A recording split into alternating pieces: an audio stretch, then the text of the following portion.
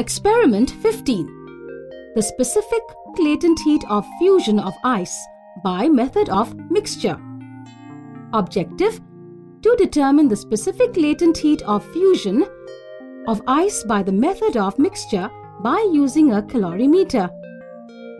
Apparatus required a calorimeter, laboratory thermometer, ice blocks, a beam balance and measuring weights. When a hot body is placed in contact with a cold body, heat exchange takes place from the hot body to cold until the equilibrium stage, same temperature, is attained. According to the principle of heat exchange, heat lost by a hot object is equal to the heat gained by the cold object, provided no heat loss takes place to the surrounding.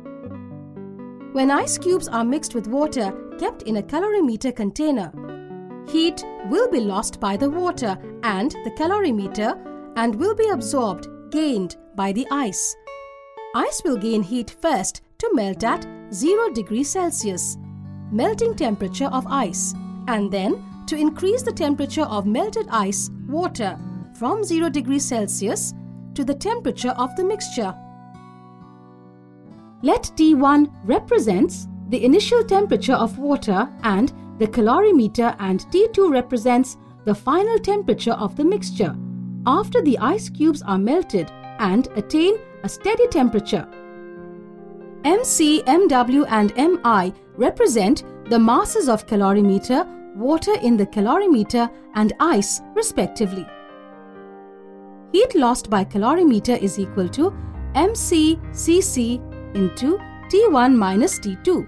Heat lost by water in the calorimeter is equal to MW Cw into T1 minus T2, where Cc and Cw represent the specific heat capacities of calorimeter and water. Heat gained by ice to melt at 0 degrees Celsius is equal to MILF, where LF represents the latent heat of fusion of ice F. Heat gained by melted ice to reach to the temperature of the mixture is equal to MICW into T2 minus 0. Applying the principle of heat exchange, heat lost by the calorimeter and the water is equal to heat gained by ice. That is MCCC into T1 minus T2 plus MWCW into T1 minus T2 which is equal to MILF plus MICW into T2 minus 0 or LF is equal to 1 upon MI into MCCC into T1 minus T2 plus MWCW into T1 minus T2 minus MICW T2. By substituting the values representing various quantities, specific latent heat of fusion of ice, LF can be calculated. Procedure Use a beam balance to measure the mass of empty calorimeter container. Record it as M1. Fill the calorimeter with water approximately half of its depth and weigh it. Record the mass of the calorimeter with water as M2. Use a thermometer to record the initial temperature of water in the calorimeter. Record this temperature as T1. Add ice cubes into the water of the calorimeter. Stir the contents of the calorimeter till the whole ice melts and the mixture attains a steady temperature. Record the steady temperature of the mixture as T2. Weigh the calorimeter again along with its contents, mixed water and stirrer. Record this mass as M3. Record the various masses and temperatures and calculate the specific latent heat of fusion of ice by using the formula given in the theory part of the experiment.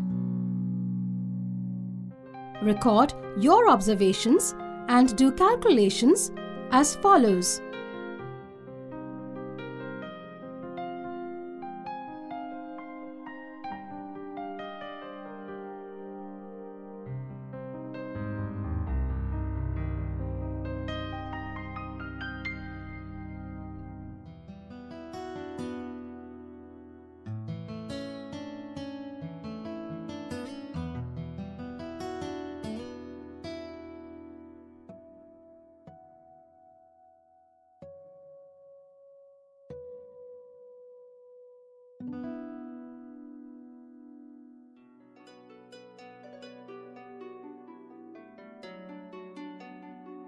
Conclusion. The specific latent heat of fusion of ice as determined by using the above data is found to be dash calories per gram.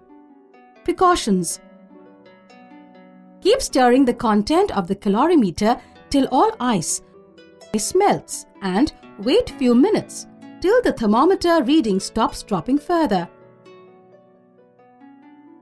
Do not keep the lid of the calorimeter open for a long time to avoid heat loss to the surrounding.